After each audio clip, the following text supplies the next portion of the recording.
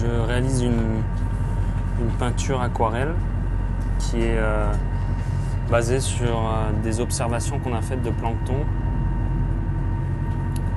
En fait, ça, ça part d'un ensemble de bactéries et de, virus ici.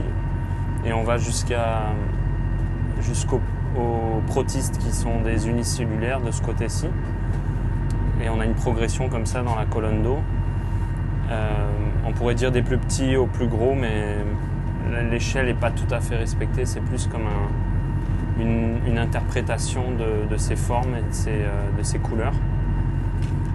Après avoir euh, filmé le plancton pendant plusieurs années pour la, série Les Chroniques, j'ai eu envie de faire quelque chose un peu plus artistique, un peu plus abstrait utiliser le médium de la peinture.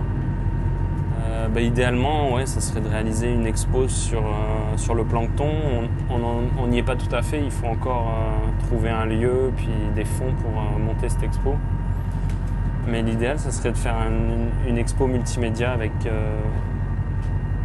bah, différentes pièces artistiques, mais aussi des vidéos, peut-être des installations, des sculptures. Ça serait vraiment quelque chose d'intéressant, je pense. Une aquarelle euh, dans ce genre, ça prend entre 10 et 30 heures, je dirais. Euh, là, j'étais parti sur, plusieurs feuilles, donc il faut multiplier ça par le nombre de feuilles.